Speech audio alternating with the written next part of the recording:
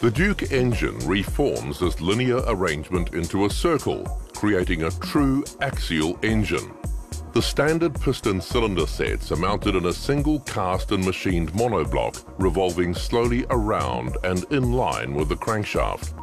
The pistons drive a star-shaped element called a reciprocator, allowing all moving parts to operate in a purely sinusoidal or wave-like motion. The reciprocator in turn drives a central crankshaft in the opposite direction, a key to many of the Duke engine's advantages. Instead of the usual complicated poppet valve system, the cylinders themselves slide past ports and spark plugs that are mounted in the stationary head ring. As the cylinder slides past the inlet port, the fuel and air charge is let in. The charge is then compressed before the cylinder is exposed to the spark plug. The charge burns, driving the piston down in a power stroke. The piston then rises again, ejecting the combustion gases through the exhaust port to complete the four-stroke cycle. With just five cylinders requiring only three spark plugs and three fuel injectors, the engine has as many power strokes per revolution as a conventional six-cylinder engine, but with at least a 30% weight saving and an astounding reduction in the number of parts.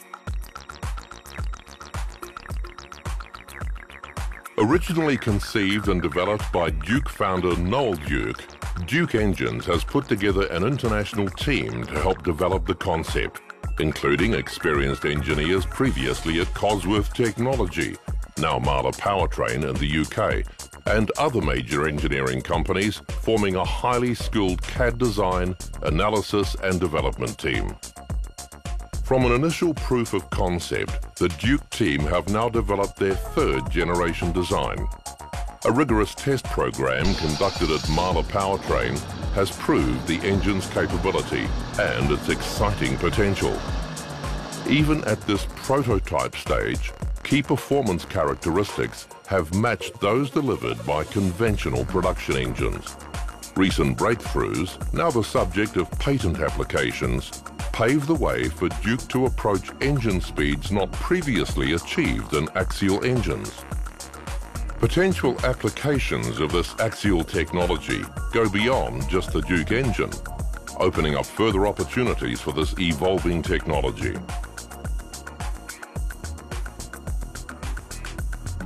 Duke's developing engine technology enjoys a number of fundamental advantages over conventional four-stroke internal combustion engines.